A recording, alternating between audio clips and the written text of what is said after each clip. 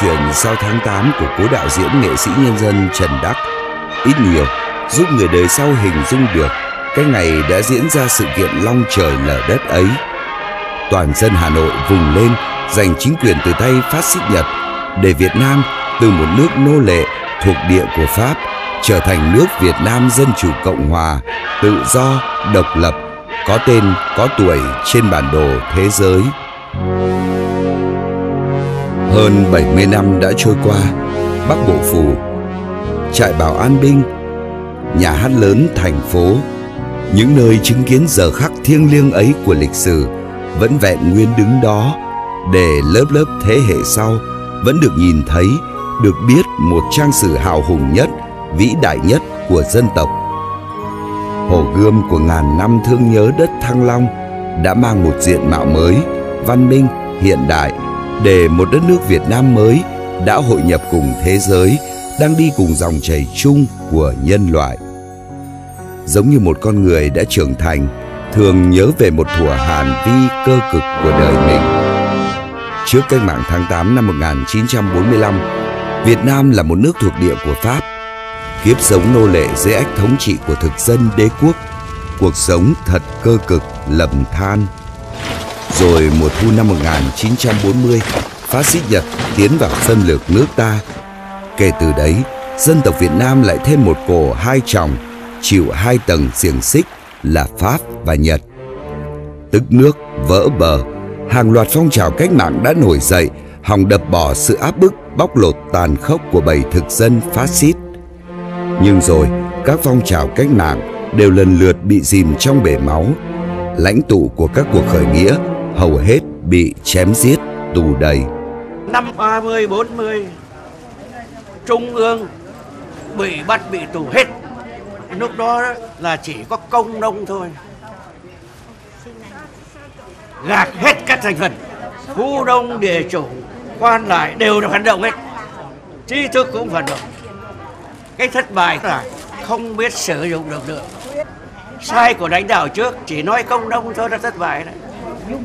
Hồ Chí Minh về làm 41 một cái trung ương hoàn toàn mới cái tài của ông Hồ đó dùng hết Hồ Chí Minh lúc ấy người trong nước mới chỉ biết đến vị lãnh tụ này qua cái tên là Nguyễn Ái Quốc. Sau 30 năm bôn ba xứ người tìm đường cứu nước, năm 1941 đã trở về trực tiếp lãnh đạo phong trào cách mạng trong nước.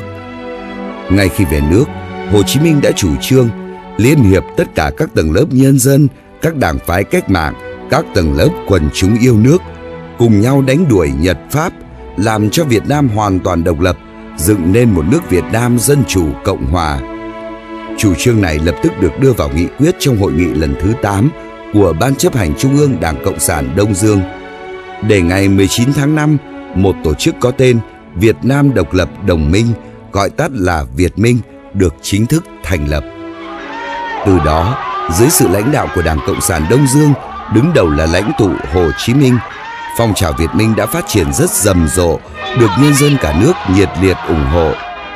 Tờ báo Hồn nước này là cơ quan ngôn luận của một tổ chức có tên Thanh niên cứu quốc Thành Hoàng Diệu.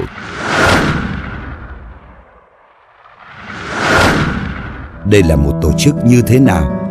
Đã có vai trò gì trong cách mạng tháng 8 để tiến tới ra đời nhà nước Việt Nam Dân Chủ Cộng Hòa vào ngày 2 tháng 9 năm 1945?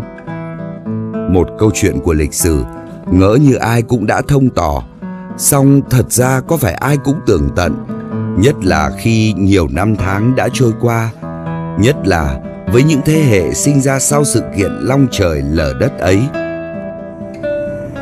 Người đàn ông này là trụ cột, là linh hồn của tờ báo Hồn Nước ra đời vào cuối năm 1944. Theo như cách gọi bây giờ thì cụ Lê Đức Vân chính là tổng biên tập của tờ báo, cơ quan ngôn luận của Việt Minh Hà Nội ngày ấy. Đã bước sang tuổi 90, nhưng ngày ngày cụ vẫn có thói quen đi bộ cả chục cây số khắp phố phường Hà Nội.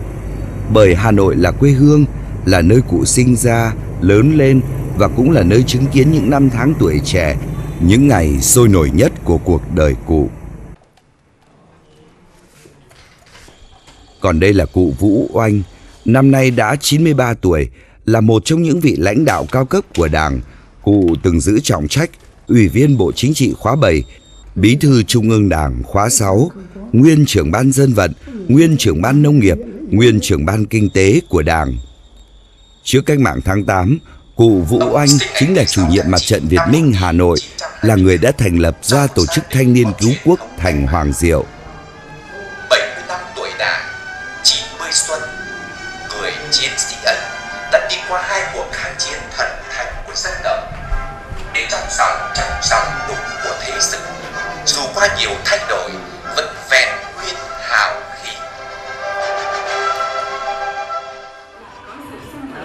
Hơn 70 năm đã trôi qua, những đoàn viên thanh niên cứu quốc thành Hoàng Diệu nay đều đã lên hàng cụ.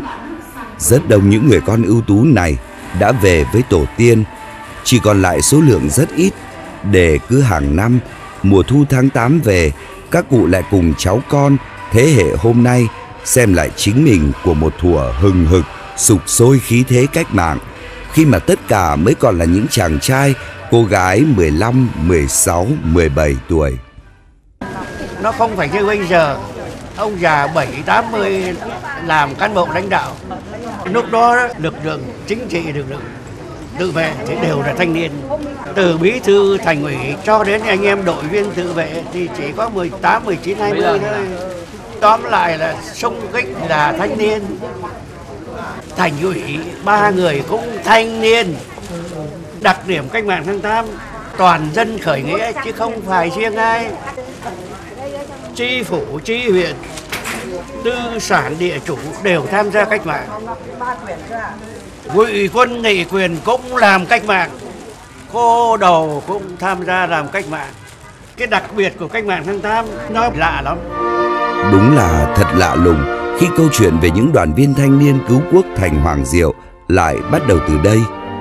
Trường Trung học phổ thông Chu Văn An, một trong những ngôi trường tên tuổi của Hà Nội hôm nay, xưa quen gọi là trường Bưởi, thực chất là trường trung học bảo hộ, có tên là Lycée du Protectorat do người Pháp lập ra từ năm 1908 với mục đích đào tạo nhân viên cho bộ máy cai trị của Pháp ở Bắc Kỳ. Vì thế, quản lý cho đến giáo viên của trường đa phần là người Pháp. Vậy mà, từ ngôi trường danh giá này, cái nôi cho những con cưng của chính quyền thực dân lại chính là nơi đè ra các phong trào cách mạng, nơi thể hiện tình yêu nước, lòng tự tôn dân tộc của các thanh niên học sinh. Thậm chí cái tên trường Bưởi cũng là do các cô chiêu cậu ấm tự đặt ra nhằm phản kháng lại người Pháp. Và chắc hẳn sau này người Pháp đã hết sức bất ngờ khi biết một trong những chàng trai học giỏi đến mức nhà trường thực dân phải cho học bổng lại chính là người đứng đầu phong trào Việt Minh ở Hà Nội lúc bấy giờ. Những ngày học ở trường 10 đấy. Đây trong này này. Những ngày Vũ Oanh tên thật là Vũ Duy Trương này. Sinh ngày 16 tháng 9 năm 24. Ngay còn khi còn nhỏ đấy như thế này. Đây là Đấy, tôi bắt đầu học trường bưởi từ năm 39, 1939. Anh Vũ Anh, anh cùng học lớp với tôi đó. Bây giờ là ở trường 10 là có tôi là nghèo đấy, còn anh em nói chung là con nhà giàu. Này. Có nhà giàu, có của ăn của đẻ cả. Thế mà nhưng mà anh em ta có tinh thần yêu nước. Thì học một ông thầy tên là Nguyễn Văn Khang, bọn tôi cũng quý thầy lắm, cho nên toàn gọi là ba Khang. Coi như bố. Thế cụ dạy lịch sử. Thế chắc là cụ cũng có tinh thần yêu nước cho nên cụ kết hợp mới lại dạy lịch sử mới lại nói về những cái truyền thống yêu nước của ta rồi giới thiệu về những anh hùng dân tộc hai bà trưng này ngô quyền này thế rồi kiếp bạc này trần Hưng đạo các thứ thì cũng gây cho bọn chúng tôi có một cái ý thức về vấn đề, tức là cái trách nhiệm của thanh niên lúc đó. Anh phải nghĩ đến dân tộc. Đấy, tuy rằng không dám nói giải phóng dân tộc vì nói thế thì là lôi thôi ngay, là vì trường bưởi là một cái trường tây quản lý. Giám đốc cũng là tây, tổng giám thị cũng là tây. Thế mà cái anh quản lý về mặt kinh tế cũng là tây. Thế thì tôi tập hợp đầu tiên tập hợp anh em thế anh anh mới bàn với chúng tôi là thành lập một cái tổ, gọi là cái tổ tu thân. Gồm anh em cùng một khóa học. Tôi rồi vận động, tức là làm thế nào giỏi. Thế thứ hai là luyện tập thân thể cho nó khỏe mạnh. Đấy, chưa dám nghĩ đến cái chuyện xa xôi, nhưng mà nghĩ đến cái chuyện tức là độ trước có cái câu tu thân tề gia trị quốc bình thiên hạ mà. Cho nên cũng nhầm cái ý đó, nhưng mà không dám nói gì cả. Đọc Victor Pouchet con đường hạnh phúc đó thì trong đó ông ấy dặn là nên ăn hoa quả. Thế thì bọn tôi mới ăn chuối. Chủ yếu là ăn chuối. Anh anh nó có thấy ăn chuối hoài thì nó gọi là hội chuối. Thế sau đó dần già thì là anh em mới bảo là ta gọi hội chuối nó chẳng có ý nghĩa gì cả. Thế thì tôi mới lập cái đội ngũ quyền để tập anh em học sinh cùng với mình theo để có cái chí hướng để làm cách mạng. Bởi vì bây giờ chưa bắt đi lạc được mấy đảng. Lúc đầu thì độ mười mấy người thôi. Về sau thì nó phát triển lên thành đến ba bốn chục người 40 người toàn học sinh trường bưởi hết. Cùng khóa với tôi mới chưa em biết sau tôi nữa. Nghĩa là nói chung trong số anh em mà có tinh thần yêu nước mình mình quy tụ anh em lại trên cơ sở đội ngũ quyền đó thì về sau cái đảng mới đi, đi, bắt liên lạc thế thì anh anh bắt liên lạc được với anh Vũ Quý ở ban can sự thành phố Hà Nội. Thì bọn tôi tiếp xúc với anh Vũ Quý. Anh Vũ Quý có một cái đặc biệt là các người khác thì ăn mặc hầu hết là giả nông dân anh Vũ Quý cải trang như là con giặc tư sản. Ăn mặc rất diện quần áo tây rồi dép được suy đeo kính đội mũ phớt. Đấy ăn mặc nó khác hẳn đấy tức là người ta không thể nghĩ rằng một cái anh hoạt động ở trong ờ, đảng cộng sản lúc đó lại ăn mặc như thế. Đấy, là mình nghĩ là phải là nông dân phải là công nhân. Bắt đi làm với tôi thì bây giờ mới tuyên truyền tôi thì tôi là vào tham gia Việt Minh. Đến đầu năm 44 thì các anh mới cho đi học một lớp. Lớp công tác cách mạng này do anh Lê Quang Đạo là trưởng ban các sự giảng lúc đó trưởng ban các sự gần như là bí thư thành ủy đó. Hồi ký của đồng chí Vũ Anh viết Nội thành Hà Nội Địch tăng cường khủng bố gắt gao. Tôi suy đi tính lại Không nơi nào an toàn bằng quê nhà Liền về gặp mẹ ở làng Vĩnh Lợi, Hải Dương. Mẹ à, con có việc quan trọng lắm. Các anh phân công cho con tổ chức lớp huấn luyện công tác cách mạng. Con chọn nhà mình là an toàn nhất. Mẹ giúp con nhé. Lại còn phải giúp. Mẹ mắng yêu. Anh rõ khéo nói. Thôi, con cứ đưa các anh ấy về đi. Thế là tôi vội vã đi đón anh Lê Quang Đạo về nhà mình. Cái lớp đó là chỉ có mấy người đó có anh oanh, có tôi là hai. Anh nguyễn anh bảo là ba. Anh phùng văn phúc là bốn. Bốn người. Gần một tuần lễ học năm bước công tác cách mạng. Thứ nhất là công tác điều tra. Thứ hai là công tác tuyên truyền. Thứ ba là công tác tổ chức. Thứ bốn là công tác đấu tranh. Và thứ năm là công tác bí mật. Đấy, chúng tôi gọi là năm bước công tác cách mạng. Thế sau cái lớp đó bọn tôi về thì bắt đầu hoạt động hoạt động thực sự đấy. Lúc đó mới tuyên truyền này, rồi lôi kéo người này, người nọ này. Đầu tiên là học sinh trường bưởi là chính đấy. Về sau các trường khác, tất cả những thanh niên ở Hà Nội này, các trường ở Hà Nội này đều tham gia mình hết thì vừa là chủ nhiệm mặt trận Việt binh Hà Nội này là tôi lập cái đoàn thanh niên tuyên truyền xung phong thành Hoàng Diệu làm nhiệm vụ thanh vận tôi mới vận động bạn bè không những trường mình. Các trường khác nữa nuôi Pasteur này, Đỗ Hữu Vĩ này Thăng Long này rồi Gia Long này rồi Đồng Khánh các thứ. Lôi kéo nhau vào. Đấy đưa cho nhau xem báo độc lập báo cờ giải phóng. Thế rồi coi là rủ dây nhau vào mà cũng nhanh chóng nữa anh có tán thành cái điều lệ cứu quốc không? Thì vào, cũng có những anh em xin vào, mà cũng có những người mình phải hỏi có muốn vào không? Thế thì vào. Thế vào thì lúc đó cũng chưa kết nạp hẳn nữa lại phải giao cho việc để kiểm tra xem có làm được không. Chứ không phải là kết nạp ngay được cũng chặt chẽ đáo để đó thế mà sau đó nó gần như là gần trường nào cũng có thanh niên quốc quốc. Cho nên phong trào nó phát triển rất nhanh. Năm ấy là tôi 15 tuổi. Thế thì cái người mà giác ngộ cách mạng cho tôi ấy, Con ông Giao Hải ở phố Rue de Saron Việt Phương đấy. Thế thì học sinh trong phố thì tôi phô hết Thế là ông ấy mới thấy là bọn này nhanh nhẹn Đang đi học. Thế là ông ấy dì tai nói chuyện các thứ Xong giác ngộ ông đưa vào tổ chức. Không có tổ chức lễ kết nạp Cái trước kia là không có đơn giản lắm. Chỉ bảo này bây giờ chúng ta là cùng nhau hoạt động tôi là cái đàn em của một cái ông là ông Thái Mỹ. Thì cái ông Mỹ, ông mới thấy là cái bọn tôi là cái bọn cũng hăng hái. Thế là ông ấy giao cho tôi truyền đơn. Thế rồi mình đi phát trong cái khu phố mình ở, thì ngày xưa là tôi ở phố hàng đập. Thì cứ rúi quen người biết thì mình truyền tay. Thế còn không thì chính là anh đi qua chợ, mình thấy đông thì anh vứt một nắm thì anh chốt. Có thế. Tôi là ở ngoại thành và tôi là được các đồng chí đi về quê hương nhà tôi để tuyên truyền. Thế thì cái tổ mà đi về đấy mà tuyên truyền bọn tôi và là Vũ Quang.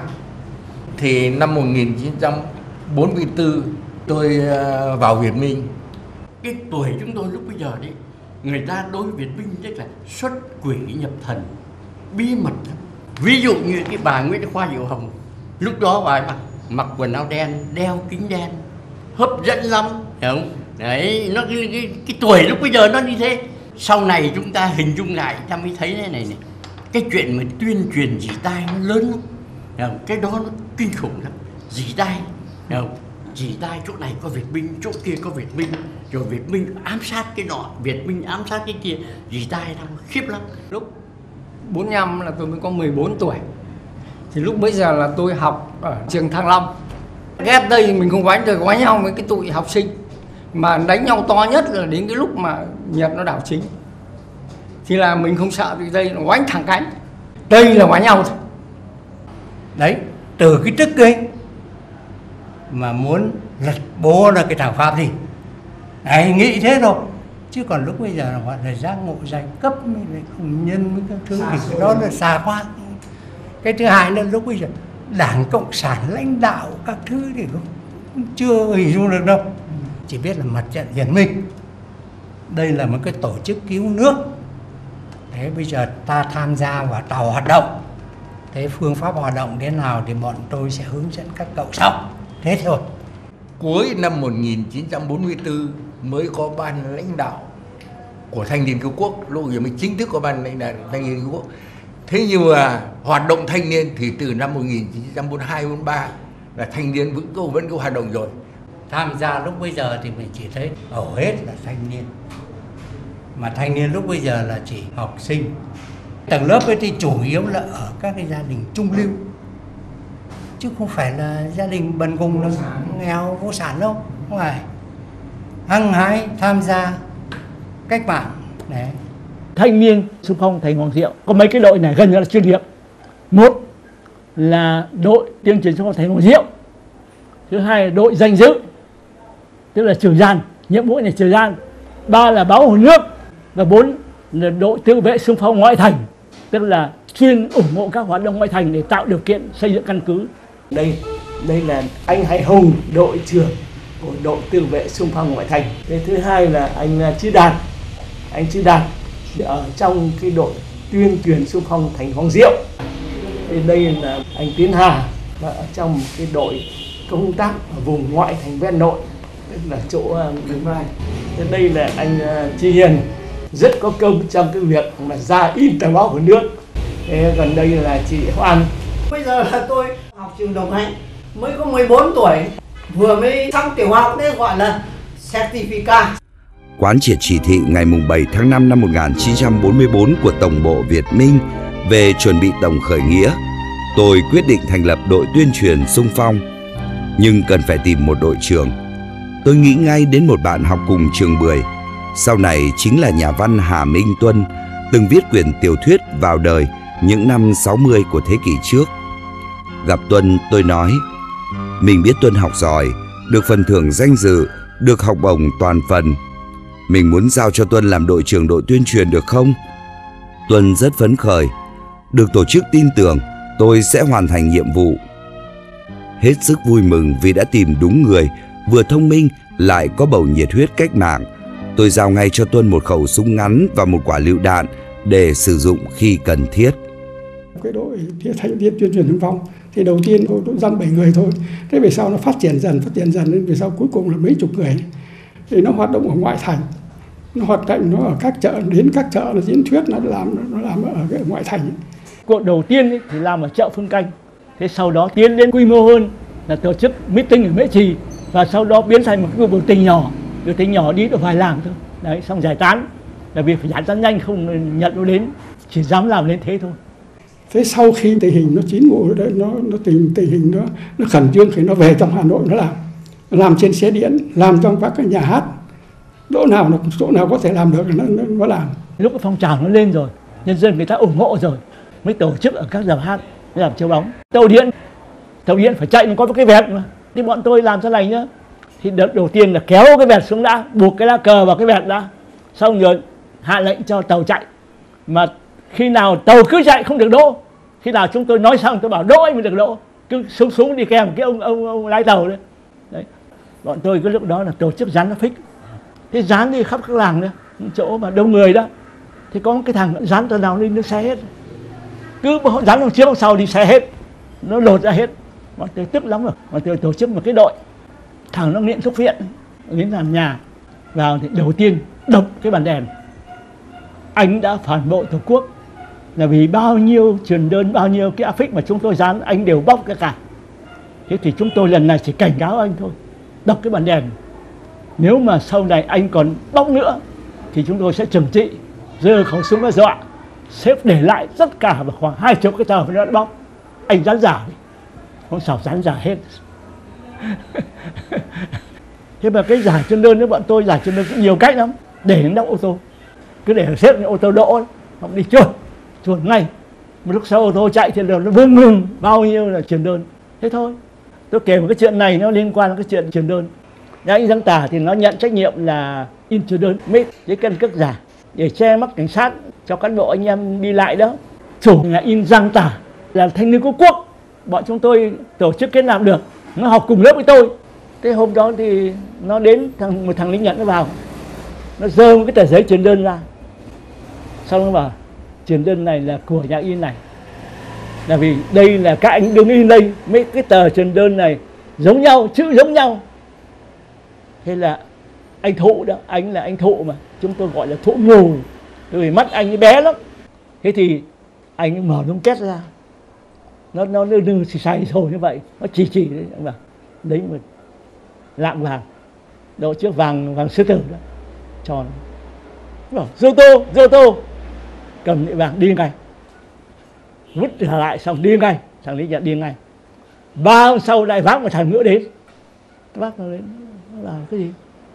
Nó bảo, vỗ vỗ, chỉ súng, cái súng này bán súng bán súng bán súng.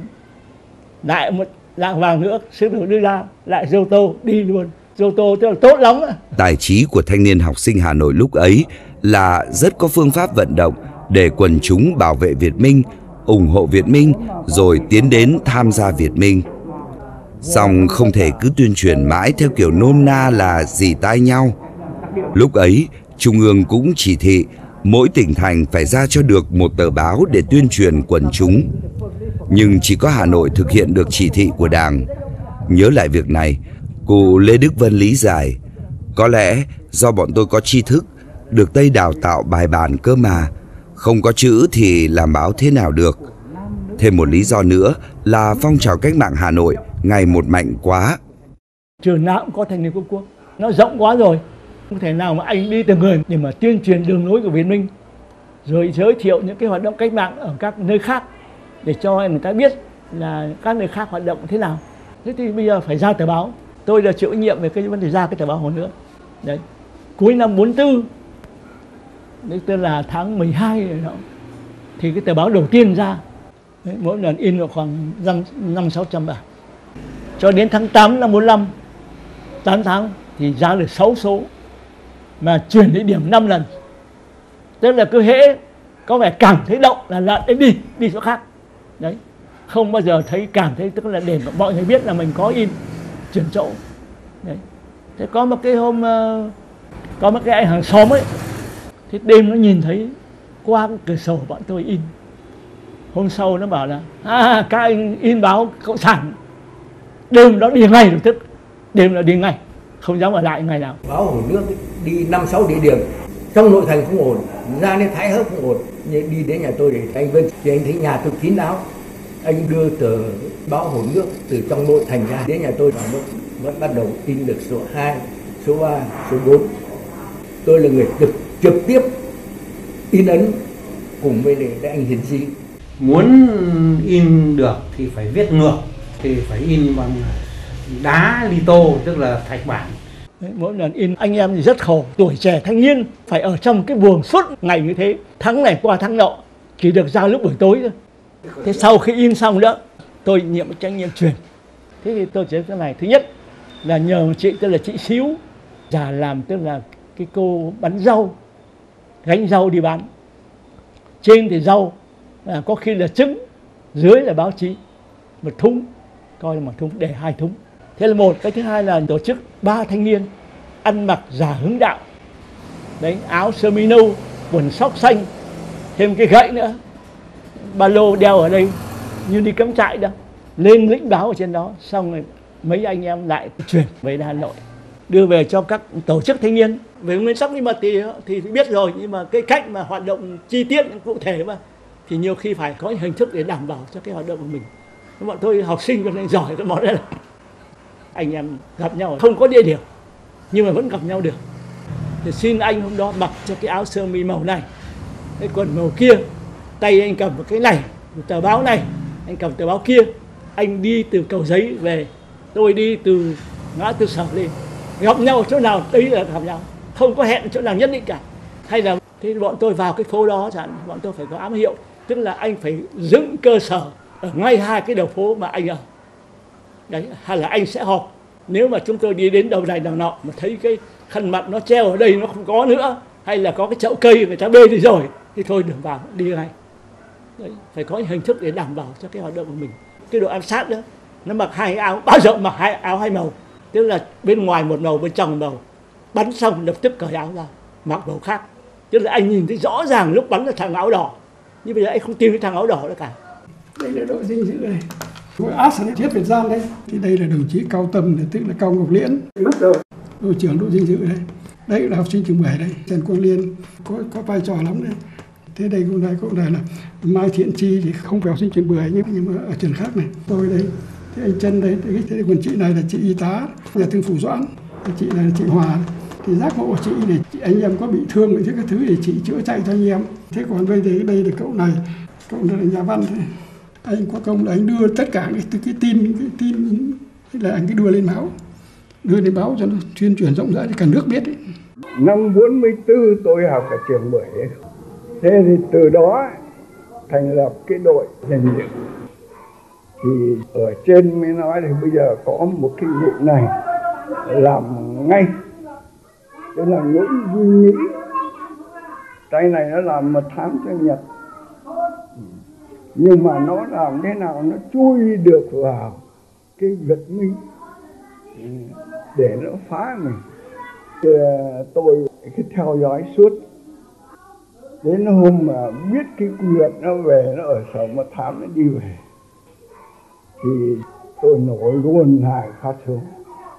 Cái thằng nó gục ngay xuống. Sau cái vụ đó là tiếp tục làm cái vụ phán sinh.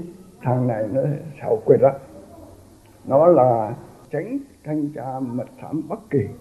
Thế là thằng phán sinh nó mới ở sân mật thám nó về. Tôi đi sau giờ súng bắn hai phát vào lưng cái, cái thằng sinh. Nó ngã gục xuống. Sau cái vụ đó thì cái bọn Việt gia nó co vào. Tiếp tục chúng tôi tiến hành cái vụ Nga kia Hương của Nga Thiên Hương nếu kể tỉ mỉ còn nhiều cái tình tiết ly kỳ tình cảm biểu chuyện. Tôi không muốn nói ở đây. Nga Thiên Hương nó là điệp viên của Nhật. Đấy cái anh ở bắn nó không khó lắm nhưng mà để một người đẹp như thế mà bắn thì anh em sao cảm tưởng mà người đẹp như thế mà bắn bắn chết. Nếu mà mình mà không giết bọn nó thì nó giết mình thôi. Thế tôi mới lập đội danh dự. Thành lập cái đội danh dự. Mình không chủ trương gọi là ám sát cá nhân đâu. Nhưng mà những thằng Việt Giang đầu sò đó thì phải trị để cho nó khỏi ảnh hưởng đến phong trào.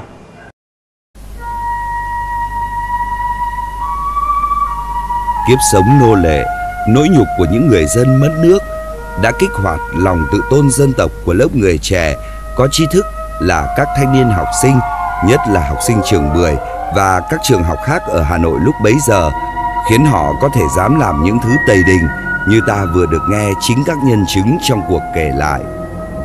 Song có lẽ còn một yếu tố nữa khiến quần chúng nhất tề đứng lên theo Việt Minh đánh đuổi Nhật Pháp. Đó chính là nạn đói năm Ất Dậu 1945. Nhằm phục vụ cho cuộc chiến tranh thế giới lần thứ hai mà phát xít Nhật đang theo đuổi, chúng đã thu gom gạo từ một đất nước nông nghiệp lạc hậu, mất mùa liên tiếp là Việt Nam để mang về nước. Đã thế, chúng còn cắt tuyến đường sắt Bắc Nam để thóc gạo của vựa lúa miền Tây Nam Bộ không thể đưa ra Bắc. Dã man hơn, trong lúc người dân không có gạo để ăn, thì Nhật dùng gạo để nấu rượu lấy cồn thay xăng hay đốt thóc thay cho than để chạy máy. Tiếp đấy, chúng bắt dân phá lúa để trồng đay. Thiếu tướng Nguyễn Đồng Thoại, nguyên cục phó cục tác chiến Bộ Tổng Tham mưu Quân đội Nhân dân Việt Nam, năm ấy mới có 13 tuổi. Chàng trai mới lớn, sáng nào cũng phải theo các anh chị đi dọn xác người chết nằm la liệt ngay trước cửa nhà mình ở phố Hàng Mã, Hà Nội. Nước ta có 25 triệu.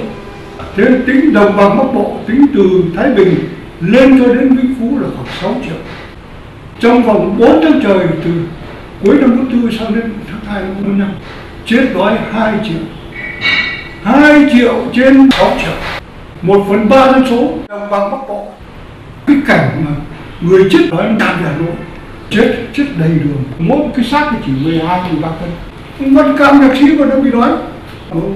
Bạn chiến đấu phạm công lý, ông bảo, dòng họ nhà ta 500 người của đông hưng sau trận đói chết còn hai người. Hai người là ông ấy là một của em trai.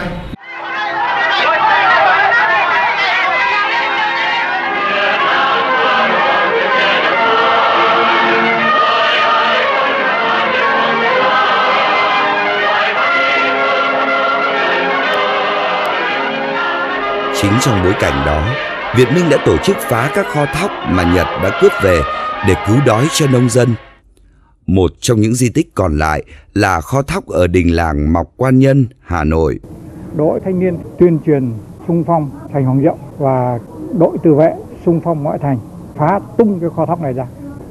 Khi nhân dân lê thóc thì thanh niên xung phong thành Hoàng Diệu bắt đầu diễn thuyết hô hào đồng bào ủng hộ Việt Minh và xông lên lấy thóc đem về chống đói. Cái việc phá kho thóc này nó có ảnh hưởng rất là lớn. Không phải rằng là đem được thóc về để chống đói mà cái cái cái cái tác dụng lớn nhất của nó là để người dân vùng lên theo cách mạng.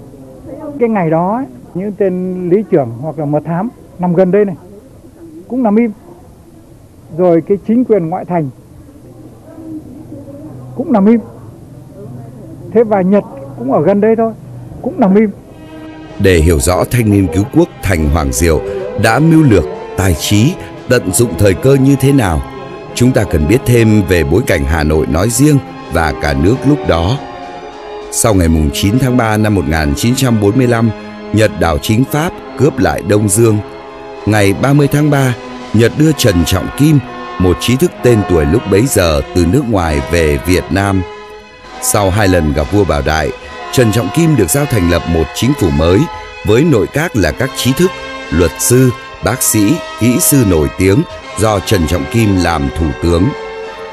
Ở Hà Nội, cụ Phan Kế Toại là khâm sai Bắc Bộ, bác sĩ Trần Văn Lai là đốc lý, tức thị trưởng Hà Nội.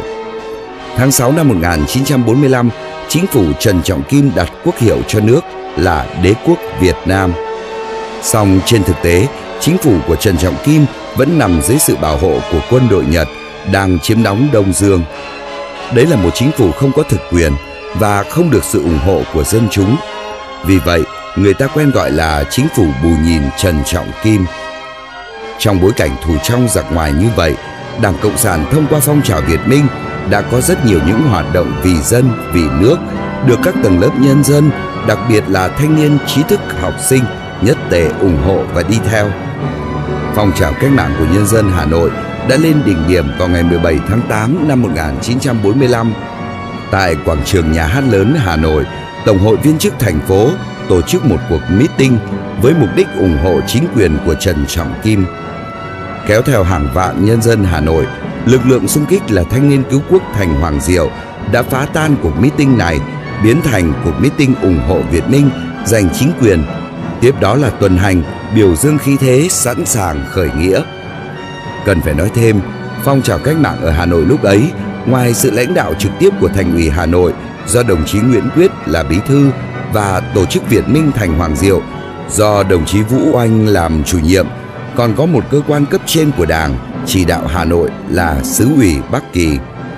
Để chuẩn bị cho cuộc tổng khởi nghĩa ở cả nước, tiến tới ra mắt một chính quyền mới Việt Nam Dân Chủ Cộng Hòa, Trung ương đã tổ chức Đại hội Quốc dân ở Tân Trào, Tuyên Quang vào giữa tháng 8 năm 1945.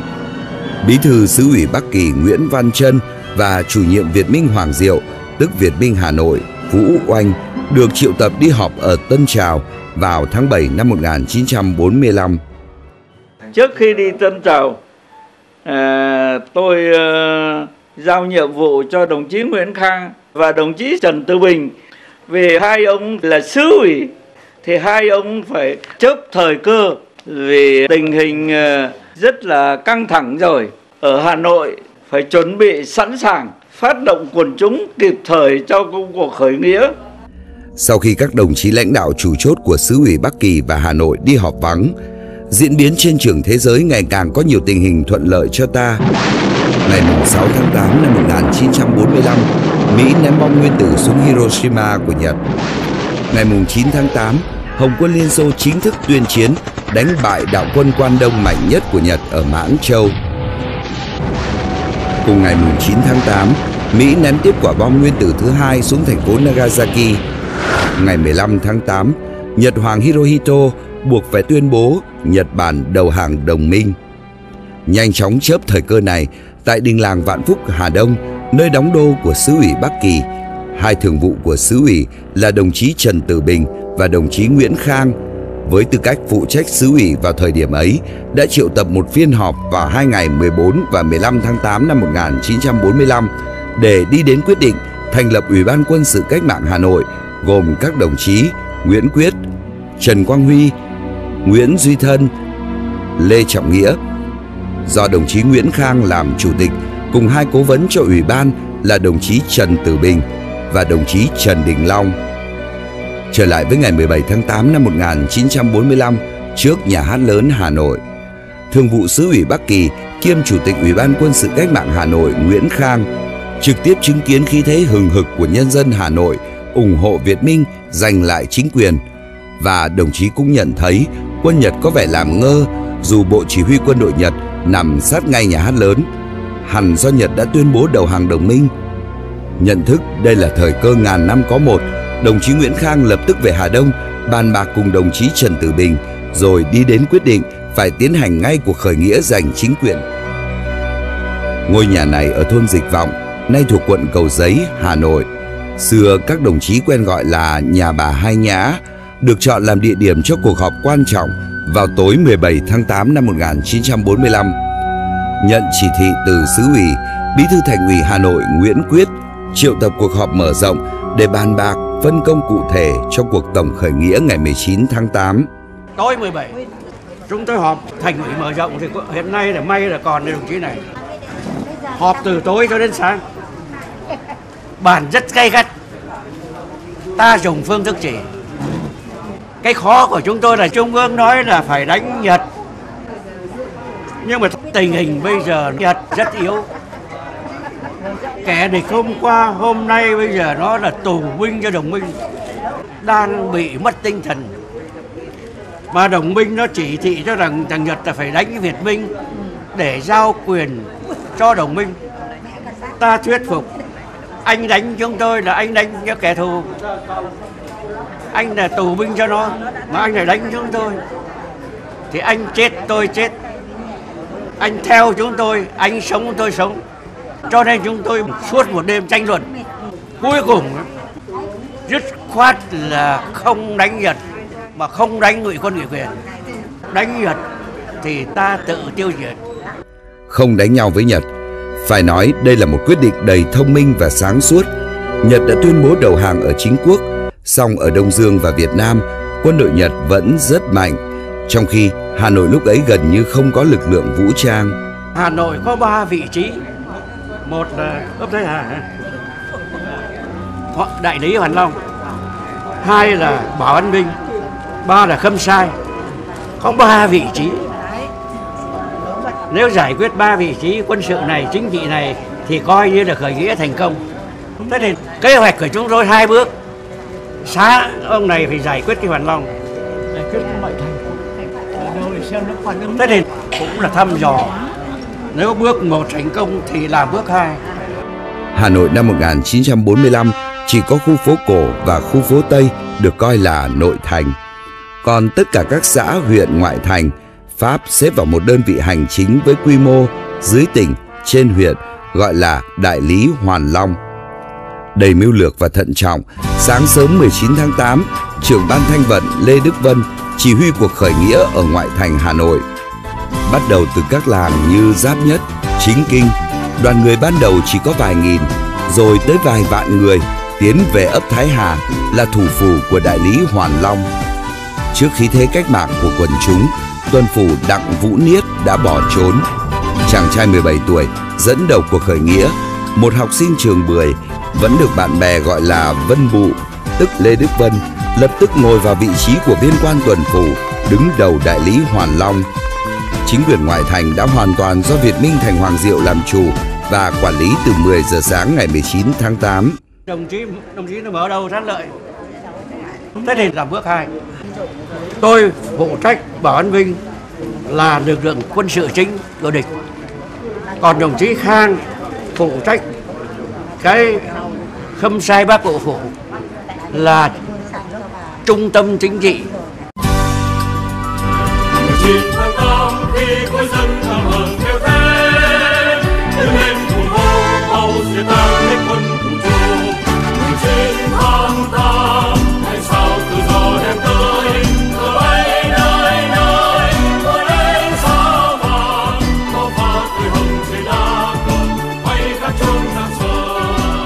Cái hồi đó thì tôi tôi đi vắng nhá đi dự đại hội thân chào mình về không kịp.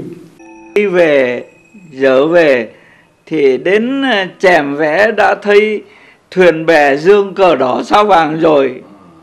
Thì thấy là chắc thành công rồi. Khi chúng tôi cướp chính quyền Hà Nội hoàn toàn Trung ương không biết. Vì sao? Vì chẳng biết Trung ương ở đâu mà xin chỉ thị. Bí mật mà. Mà Trung ương cũng chẳng biết chúng tôi ở đâu bây giờ không có alo. Chỉ thị của Trung ương hạ lệnh là đánh Nhật. 13 tháng 8 chưa về đến Hà Nội. Chúng tôi phải chờ Trung ương, chờ sứ, thì thất bại. Cách mạng phải tranh thủ từng giờ. Đúng rồi, thì tôi về, tôi biết là cái lệnh đó chưa đến Hà Nội. Hà Nội đã tổng khởi nghĩa sớm hơn sớm hơn cái lệnh đó. Trên khép ghê lắm, bởi vì Hà Nội như thế là sáng suốt. Cuộc tổng khởi nghĩa giành chính quyền ở Hà Nội đã thành công, thành công mà không hề có đổ máu, không hề tốn một viên đạn nào. Phải chăng đó là cơ may của lịch sử, là vận nước đã đến rồi. Song nếu như không có sự chỉ đạo kịp thời của xứ ủy, không có phong trào cách mạng mà lực lượng xung kích là thanh niên cứu quốc thành Hoàng Diệu đã tuyên truyền vận động để hàng vạn người dân Hà Nội đứng lên giành chính quyền thì liệu chúng ta có tận dụng được cái cơ may ngàn năm có một ấy của lịch sử để lấy lại đất nước? Cuộc khởi nghĩa 19 tháng 8 thành công ở Hà Nội đã là một bài học, một kinh nghiệm bổ ích như một động lực thúc đẩy để tiếp đó các tỉnh thành trong cả nước nhất tề đứng dậy khởi nghĩa giành lại chính quyền. Cuộc tổng khởi nghĩa giành chính quyền trên cả nước vào mùa thu năm 45 lịch sử ấy đã hoàn toàn thắng lợi. Chính quyền đã thuộc về tay Việt Minh để ngày mùng 2 tháng 9 năm 1945 tại quảng trường Ba Đình, Hà Nội, Chủ tịch Hồ Chí Minh đã long trọng đọc bản tuyên ngôn độc lập khai sinh ra nhà nước Việt Nam Dân Chủ Cộng Hòa. Ơi độc lập, xanh biết mấy là trời xanh tổ quốc khi tự do về trói ở trên đầu. Nhà thơ Chế Lan Viên như đã nói hộ được cảm xúc ấy của triệu triệu con tim người dân Việt Nam từng bị nô lệ, mất nước, nay đã được sống trong một đất nước độc lập và tự do.